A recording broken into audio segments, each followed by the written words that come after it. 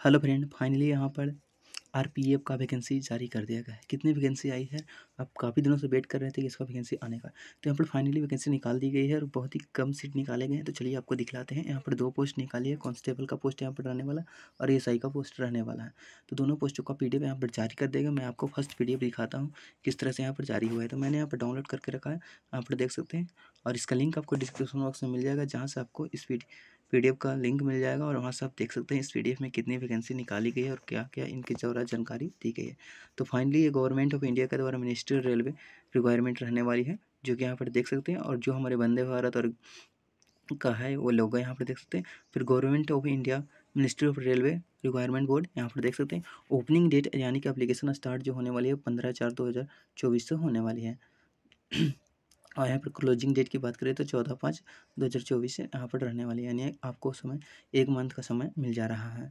और date of mode window correction के लिए आपका जो टाइमिंग मिलने वाली है, जो आप एडिट कर पाएँगे पंद्रह पाँच दो दो हज़ार चौबीस से चौबीस पाँच दो हज़ार चौबीस तक।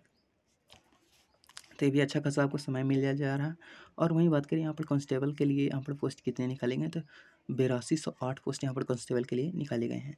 आपका जो सैलरी मिलेगी लेवल थ्री का मिले, पे लेवल थ्री का मिलने वाला है इंटरेस्ट पे आपको इक्कीस हज़ार सात सौ रुपये से स्टार्ट होगा। मेडिकल स्टैंडर्ड बी वन और यहाँ पर उम्र सीमा की बात करें तो अट्ठाईस, अठारह से अट्ठाईस वर्ष यहाँ पर रहने वाली है। बाकी आपको एस सी और ओ को जो छूट मिलता है वो आपको अकॉर्डिंग मिल जाएगा। बाकी जनरल के लिए कैटेगरी रखा गया है। यहाँ पर इंपॉर्टेंट इंस्ट्रक्शन आप रीड कर सकते हैं। एजुकेशन क्वालिफिकेशन में यहाँ पर गया है candidate should be the applying online mode using offline website R R B S करना तो यहाँ पर देख सकते हैं, इनके द्वारा बहुत सी जानकारी दी गई जो एक बार आपको रीड करना है। और बेसिकली मैं आपको सारी जानकारी आपको देता हूँ। सबसे पहले इसके जो टर्म्स एंड कंडीशन है, उसके बारे में हम जानते हैं। तो यहाँ पर देख सकते हैं, इनके द्वारा कितनी चीज़ें दी गई है। और इसका हम सिलेबस भी बताएँगे और साथ में यहाँ पर फ़िज़िकल स्टैंडर्ड की भी जानकारी देंगे। तो देख सकते हैं, एक बार ये पीडीएफ आपको ज़रूर चेकआउट कर लेना है। पीडीएफ के लिए हमारे नंबर नीचे में दिया होगा, वहाँ से आप व्हाट्सअप पे हाई करेंगे तो वहाँ आपको मिल जाएगा। तो वहाँ पर कंस्टेबल एक सर्विसमैन के लिए भी दिया गया है, अठारह से पच्चीस वर्ष रहना है, अठारह से अठारह से अट्ठाईस वर्ष रहेंगे बाकी S T S T candidate को पाँच साल के ओ बी सी के तीन साल के और जनरल ओ बी सी को भी तीन साल के यहाँ पर छूट दी जाएगी। बाकी देख सकते हैं।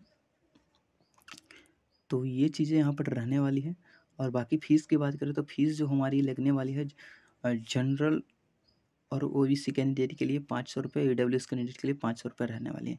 बाकी एस एस टी कैंडिडेट जो होंगे उसके लिए अढ़ाई सौ रुपये फ़ीस इनको लग रहे हैं। तो ये हमने फ़ीस की बात कर ली। अब यहाँ से आपको फ़िज़िकल स्टैंडर्ड के बारे में जानकारी देते हैं और इसका एजुकेशन क्वालिफिकेशन और साथ में यहाँ पर क्या क्या इनके द्वारा रहने वाले हैं। तो आपका जो कंप्यूटर बेस्ड एग्ज़ाम होने वाला है सी बी टी यहाँ पर देख सकते हैं। एग्जामिनेशन जो आपको टेंथ स्टैंडर्ड पे ही रहने का पैटर्न सिलेबस को यहाँ पर दिया गया है, यानी कि नब्बे मिनट का समय दिया जाएगा। आपको टोटल क्वेश्चन एक सौ बीस मिनट के यहाँ पर रहने वाली है। टोटल क्वेश्चन एक सौ बीस रहने वाले, नब्बे मिनट का समय दिया जाएगा। वन मार्क्स इच रॉन्ग अगर आप each wrong one marks shall be award the due to the question not attempt यानी कि एक मार्क आपको एक बाई तीन की नेगेटिव मार्किंग भी रहने वाले अगर आप नहीं अटेंड करिएगा तो आपको कोई भी मार्क्स नहीं दिया जाएगा। तो ये यहाँ पर इनके द्वारा बता दिया गया है। मिनिमम पास परसेंटेज तो यहाँ पर रहने वाली है। U R E W S O B C के पैंतीस परसेंट लाना अनिवार्य है, यानी तभी माने जाएँगे, बाकी आपका कटअप अलग से जाएगा एस सी को तीस परसेंट लाना अनिवार्य रहेगा। कटअप जो ज़्यादा है, जानते होंगे कि अस्सी प्लस ही जाता है तो ये आप देख सकते हैं। और वहीं बात करें पीटी के बारे में, फ़िज़िकल स्टैंडर्ड टेस्ट जो होने वाली है, कांस्टेबल मेल के लिए पाँच मिनट पैंतालीस सेकंड की दौड़ होने वाली यानी सोलह सौ मीटर की दौड़ होने वाली आपको, पाँच मिनट पैंतालीस सेकंड का टाइम मिलेगा। वहीं लड़कियों की बात करें तो यहाँ पर आठ सौ मीटर की दौड़ होगा, तीन मिनट चालीस सेकंड को समय दिया जा रहा है। लड़कों के लिए हाई जंप की बात करें तो चौदह फीट की रहने वाली है, लड़कियों के लिए नौ फीट की रहने वाली है। Long jump sorry high jump की बात करें तो चार फीट लड़कों के लिए, तीन फीट लड़कियों के लिए दिया गया है। The certificate P M T under जो यहाँ पर रहने वाली है, जैसे कि आप देख सकते हैं U R E W E W S O B C के लिए एक सौ पैंसठ सेंटीमीटर हाइट यहाँ पर मांगी गई है फीमेल को एक सौ संतावन सेंटीमीटर मांगा गया है। अनएक्सेप्टेड यानी कि बिना फुलाए आपको अस्सी सेंटीमीटर लड़कों का चेस्ट होना चाहिए और फुला करके पचासी सेंटीमीटर होने पाँच सेंटीमीटर का फुलाव होना चाहिए। ये ओनली फॉर मेल कैंडिडेट के लिए है और एस सी कैंडिडेट और एस सी एस टी के कैंडिडेट के लिए एक साठ सेंटीमीटर की हाइट चाहिए, लड़कियों के लिए एक बावन सेंटीमीटर की हाइट चाहिए और छिहत्तर पॉइंट टू यहाँ पर बिना फुलाए होनी ही चाहिए और उसके बाद फुलाने के बाद आपको इक्यासी पॉइंट टू होना चाहिए। बाकी जो आप गोरखा, मराठा, डंगरा ये सब रहेंगे तो आपको एक सड़सठ सेंटीमीटर हाइट चाहिए और फीमेल को एक सौ पंचावन, एक सौ पचपन सेंटीमीटर और बिना फुलाए अस्सी और फुला करके पचासी यहाँ पर होनी चाहिए। तो ये इनके द्वारा सब कुछ दिया गया है। यहाँ पर दोनों पीडीएफ जारी कर दिया गया है। एसआई और कांस्टेबल दोनों का यहाँ पर जारी कर दिया गया है। लिस्ट आरआरबी वेबसाइट हम जिस वेबसाइट में आप करना चाहते हैं, जैसे कि आप देख सकते हैं, अहमदाबाद, चेन्नई, मुजफ्फरपुर, अजमेर, गोरखपुर, पटना, भोपाल, गुवाहाटी, बंगलोर, प्रयागराज, रांची, जम्मू, श्रीनगर, भुवनेश्वर, कोलकाता, सिकंदराबाद, बिलासपुर, मंदा, मालदा सिगरौलिया चंडीगढ़, मुंबई तिरुवनंतपुरम। तो ये सभी चीज़ें यहाँ पर रहने वाली है, जो कि बहुत सारे यहाँ पर बताएँगे हैं। आरआरबी साइड इन वैकेंसियाँ यहाँ पर जारी करी गई हैं। तो फाइनली आपको एक बार नोटिफिकेशन को अच्छी तरह से रीड कर लेना है किस डेट में क्या होने वाली है। तो ये आपको एक बार चेकआउट करके अच्छे से आपको देख लेंगे। और मिनिमम एजुकेशन क्वालिफिकेशन यानी टेंथ पास आपको रहने वाली है। तो आप टेंथ पास यहाँ पर रहेंगे तो आपका फॉर्म अप्लाई हो जाएगा। लेवल थ्री की वैकेंसी यानी लेवल थ्री के यहाँ पर पोस्ट पैसे मिलने वाली है आपको। और बाकी कैटेगरी पर यहाँ पर देख सकते हैं कि इस कैटेगरी में कितने यहाँ पर रहने वाले हैं। तो यहाँ पर यू आर में चौदह सौ पचास सीट रखी गई, एस में पाँच सौ छत्तीस एसटी में दो सौ अड़सठ, ओ बी सी में नौ सौ छियासठ ई डब्ल्यू एस में तीन सौ संतावन तो देख सकते हैं ई डब्ल्यू एस और प्लस यू आर यानी दोनों को जोड़ कर देखें तो इसमें काफ़ी ज़्यादा वैकेंसी इन्हीं को मिल जाता है। लेकिन बाकी अब ओ बी सी तो मरले मरा जा रहा है, बाकी एस सी, एस टी अपनी जगह पर ठीक ही ठाक है।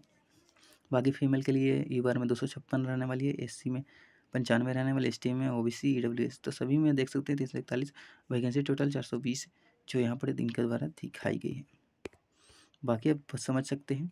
बाकी इनके द्वारा कुछ ये पी जारी किया गया है। और बाकी हम कभी किसी दूसरे वेबसाइट से आपको सारी जानकारी प्रोवाइड कराते हैं।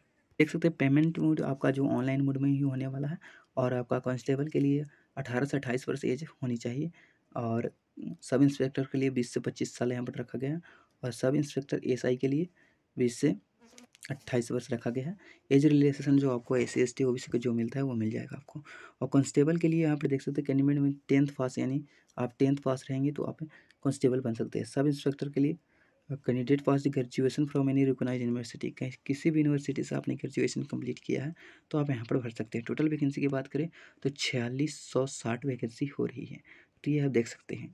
बाकी कैटेगरी बाज यहाँ पर बांट दिया गया बाकी सब कुछ आपको दे दिए बाकी मैंने आपको नोटिफिकेशन से जानकारी दे दी है कि किस तरह से आपको किस इस चीज़ में यहाँ पर होने वाली है। बाकी आपको जो रिटर्न होगा रेलवे के में, जो पैसे, जो पाँच सौ रुपये लेती है, उसको रिटर्न आपको चार सौ रुपये कर देगी। लेकिन एस सी कैंडिडेट को पूरा पैसा ही रिटर्न हो जाता है। दो सौ पचास रुपये उनसे लिया जाता है और वो भी पूरा पैसे रिटर्न हो जाते हैं। फिर सैलरी में बात करें तो यहाँ पर जो अभी मैंने दिखाया था इक्कीस हज़ार सात सौ, लेकिन यहाँ पर पे सैलरी टोटल आपको बनेंगे पैंतीस सौ चालीस, पैंतीस हज़ार चार सौ रुपये यहाँ पर बनने वाले हैं। कांस्टेबल के लिए यहाँ पर ये एस के लिए पैंतीस हज़ार चार सौ रुपये और कांस्टेबल के लिए इक्कीस हज़ार सात सौ रुपये रहने वाले हैं। डॉक्यूमेंट वेरिफिकेशन बाकी आप चेकआउट कर सकते हैं। बाकी जैसे ही इसका पंद्रह तारीख को स्टार्ट होगा, यहाँ पर फॉर्म अप्लाई का, उसका भी वीडियो आपको मिल जाएगा। तो उसके लिए हमारे यूट्यूब चैनल को सब्सक्राइब करके रखना है। जैसे ही इसका फॉर्म एक्टिव होता है, मैं आपको वीडियो बनाकर प्रोवाइड कर दूँगा। तो चलिए मिलते हैं नेक्स्ट वीडियो में नेक्स्ट एपिसोड जय हिंद, वंदे मातरम।